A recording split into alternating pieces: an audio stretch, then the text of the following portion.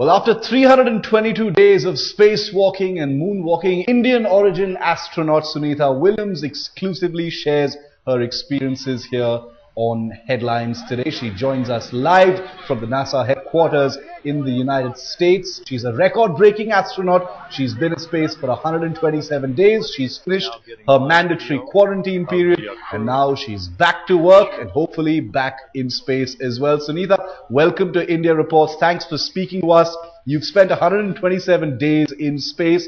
Tell us about your best experience this time round.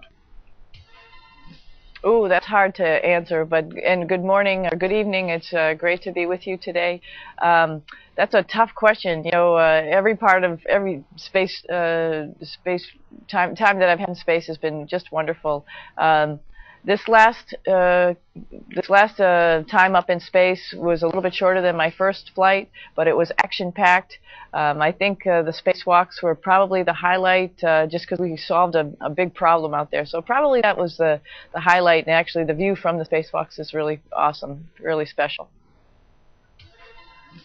Sunita, everyone who watches you, students, I'm sure some of the people who are watching right now are hugely envious of you and set wonder how can they get the chance to be the next Sunita Williams? How do they really get a chance to do spacewalks as well? Is that at all possible for the likes of us? Yeah, I'm I'm really hoping that a lot of people from all over the world uh, watch what we're doing on the International Space Station and are encouraged and want to get involved with what we're doing and want to be uh, the next uh, guy who's up on the space station and the, the next spacewalker.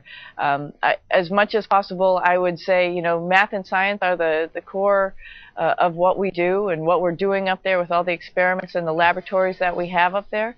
Uh, so that's the first thing, and then you know do do the best at what you can do, what you're going to do as a profession, and apply to be an astronaut. Um, we're yeah. looking for the future, the next generation of explorers, and so uh, we're wanting the next group to come in and, and join us. Well, I can tell you, Sunita, there are hundreds of thousands of people in India who'd love to be in the place that you are right now. But they say that, you know, when people go to space, Sunita, it's always a philosophical experience. Can you say that your several journeys into space have changed you as a human being or in any other way?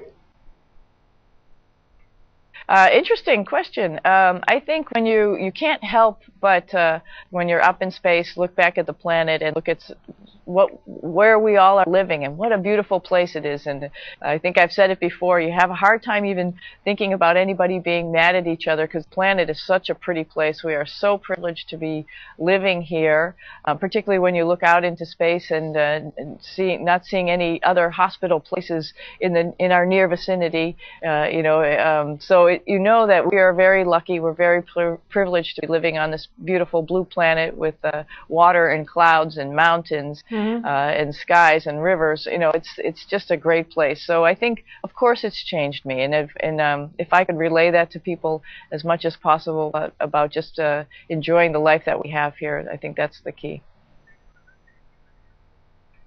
All right, Sunita, thank you very much for joining us here on India Reports.